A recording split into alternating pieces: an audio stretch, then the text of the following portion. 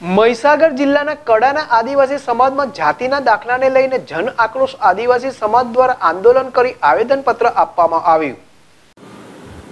સરકાર દ્વારા દિન પાંચમાં માંગ ન સંતોષાય તો ઉગ્ર આંદોલનની ચમકી કડાના મામલતદારને આવેદનપત્ર આપી લુણાવાડા કલેક્ટરને આવેદન, લુણાવાડા કલેક્ટરને આવેદન આપવા મોટી સંખ્યામાં લોકો રેલીમાં જોડાયા. બે હજાર જેટલા લોકો કલેક્ટર ઓફિસે જઈ આવેદન આપવામાં આવ્યું.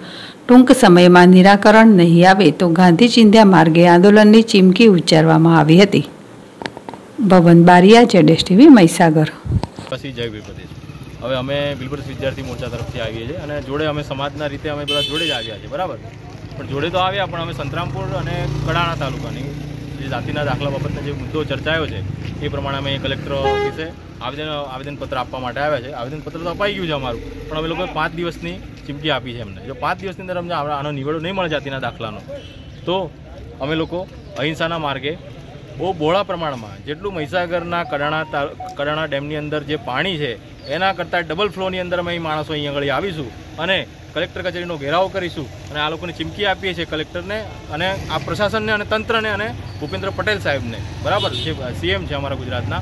એમને પણ અમે કહીએ છીએ કે જો અમને અમારા દાખલાનો નિવેડો નહીં આપવામાં આવે, તો અમે ભોળાપણાનું આંદોલન કરીશું અને ત્યાં આગળ અમને જ્યાં સુધી અમે આ સ્થગ- આંદોલન જ્યાં સુધી આ સ્થગ- સ્થગિત નહીં કરીએ અમે જ્યાં સુધી અમને આ દાખલાનો નિવેડો નહીં નિવેડો નહીં મળે. બરાબર?